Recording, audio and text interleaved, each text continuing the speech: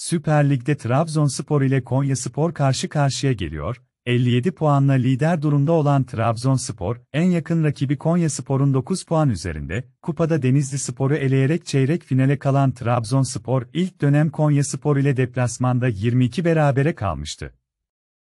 Kupada Karagümrük'e 54 kaybedip kupadan elenen Konyaspor'da zirve yarışını sürdürmek istiyor, deplasmanda kazanıp puan farkını 6'ya indirmek isteyen Konyaspor Lig'de 3 maçtır kazanıyor, zorlu bir karşılaşma olacak ilk dönem olduğu gibi.